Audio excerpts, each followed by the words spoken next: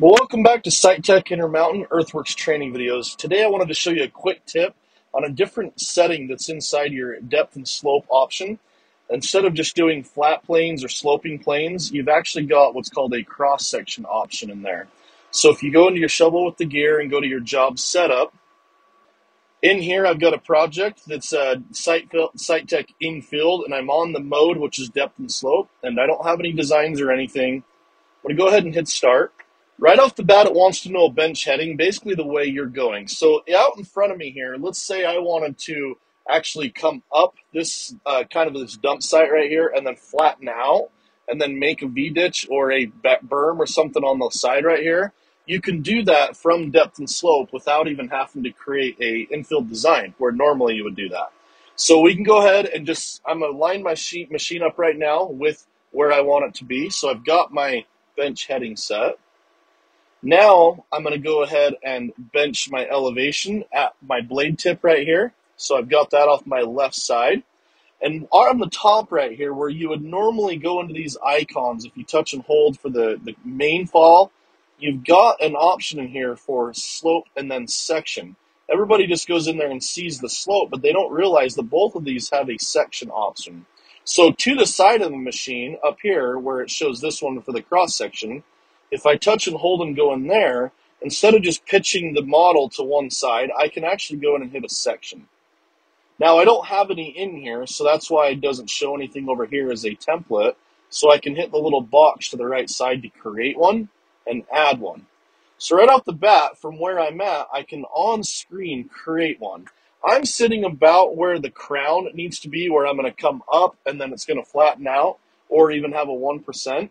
So this is very familiar to you probably from where you've actually built infield designs. So you can go ahead and just key stuff in or take your finger and drag it, however you want to do it. But let's say that I want to put a berm over there off my left side. It's I haven't measured it out. I'm going to say I'm going to build it about 40 feet to my left. So what I'm going to do is right off the bat, I'm going to just come over a little bit and then come up. That's about one foot. So let's back up one you can zoom out and see the scale right here on the bottom and the top to know how many feet that is. I'm going to build a berm that's up about four feet. Then I'm going to come over just a couple feet, and then I'm going to come right back down to about the same elevation.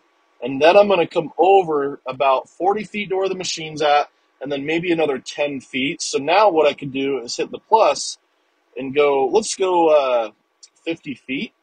We'll go flat and hit enter. Basically, as I'm doing this, I'm just trying to train you to show you how you can build a cross section right on the fly, right where you're at, without going to infield design. It won't save these though. But now let's say off that edge right there, I want to build it at about a 2%. And I'm going to just project it out. I don't have an exact number of how far I want to go. That's where you get to kind of design it as you want in the field.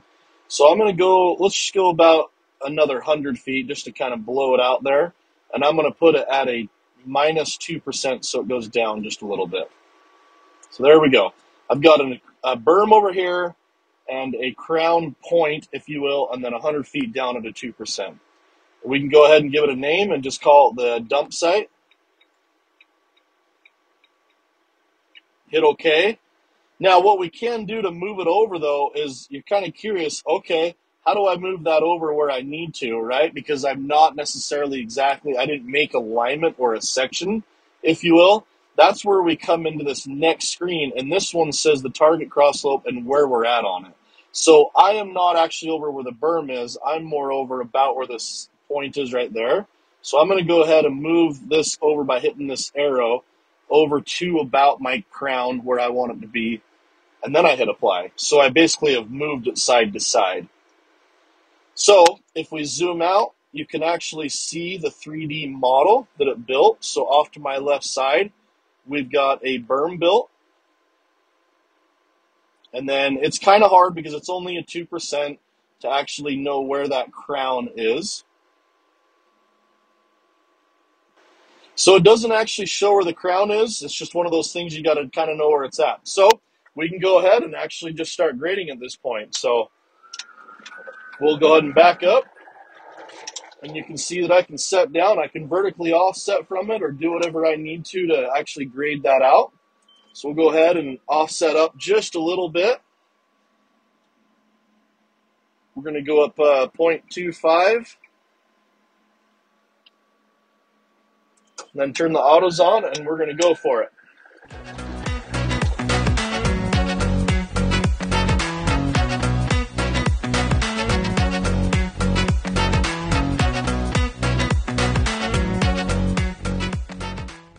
So now that we've got what we needed started to grade out there, you can go ahead and continue to grade at that. Or if you need to go in there, you can actually edit that. So you can go into the same one you've got right there and you can hit the three buttons and either delete it or edit it. You can also save it as templates for future things that you need to do. But the intent of this video is to show you not to forget that when you go into these options at the top, to look for the little drop downs that are in there. Instead of slope, you put it on section. If you want to just go right back to slope, you can go in there and pitch it. You can come back here and set a new um, bench point, or you can do a bench heading and a bench elevation. It's just on the fly. I mean, even if you had a deep dozer just like this, I'm just out at a dump site on a project. There's no need to be building any actual design out here, but if you don't want to do duck pond, if you still want to be able to use your autos and make things flow and pitch and look good and not have duck ponds, you can just bring your 3D dozer out and actually turn on a base station and still use this depth and slope or infield design option. So thanks for watching this video from SITECH Intermountain Earthworks training videos.